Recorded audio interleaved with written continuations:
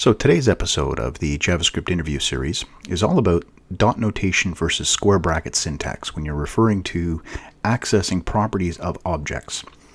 So I have two objects here, one called Sam, one called Dean. Sam's got one property called Castiel, and Dean's got two properties, one called John, one called Mary.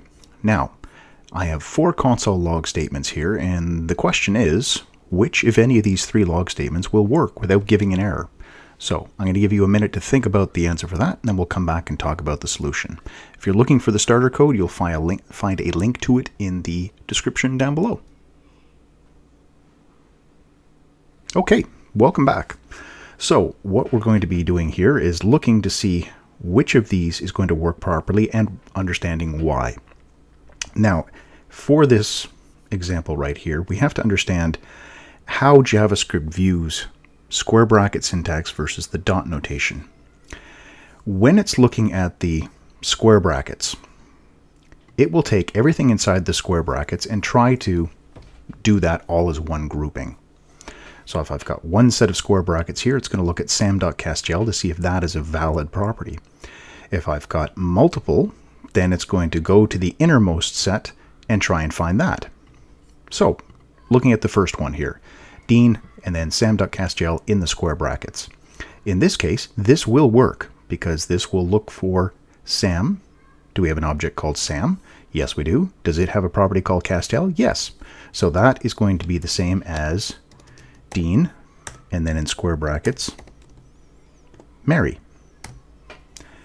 Sam.castiel, the value is Mary. It's a string, so that goes inside of here. And this will be Dean, Mary, do we have an object Dean? Yes. Does it have a property called Mary? Yes. The value of that is Chuck. So this will come back with Chuck. So that one works. Next, dean.sam.castiel. Well, because it's all dot notation, it will read it from left to right. So do we have an object called Dean? Yes. Does that have a property called Sam? No. So this one we will get a failure for.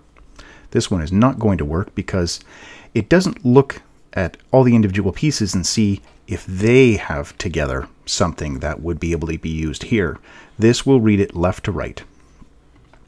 Next one, we've got two sets of square brackets, so it goes to the innermost one to figure out what that is. Castiel, okay, it's a string. Then going up one level, Sam. Does Sam have something called Castiel as a property? Yes, it does. And again, this will come down to the same thing as the first one. So it'll be Dean and then Sam.Castiel or Sam square bracket Castiel. That will come out to Mary, which once again will come out as Chuck. So we can here look at this one as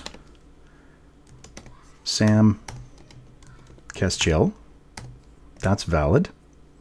That's the thing that's going to come up as Mary. Now another way of writing that is sam.castiel.